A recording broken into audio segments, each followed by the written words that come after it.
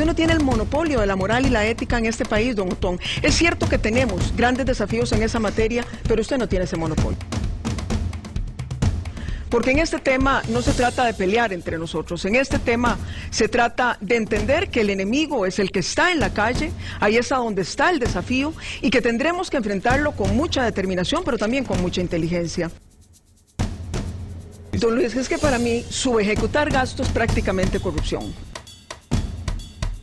Mira, don Otto, usted hoy vino a golpear la mesa, a insultar a la gente no, estoy y a no respetar estoy los haciendo tiempos. una pregunta. Pero entonces déjeme contestarse. Y usted no insulte la memoria a don José Figueres Ferrer, don Otto, más respeto. Usted no le llega ni a los tobillos a don José Figueres Ferrer, ni nunca le va a llegar.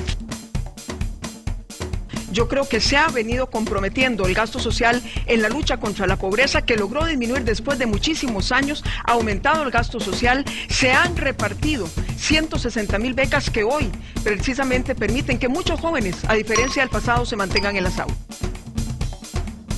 Nosotros hemos venido diciéndole a Costa Rica que la propuesta de país que queremos es una propuesta de un país que se construye sobre la belleza de su ambiente. Y venimos con una propuesta muy fuerte de promover en Costa Rica un conglomerado de energías limpias.